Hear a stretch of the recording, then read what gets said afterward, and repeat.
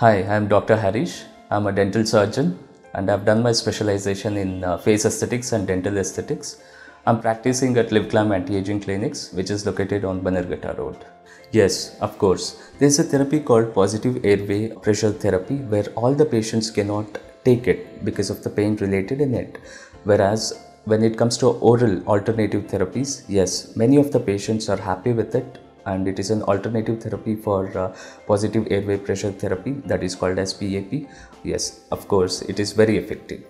To watch more videos of uh, clinical dentistry, dental aesthetics correlating with facial aesthetics, please do watch on Doctor Circle and subscribe it.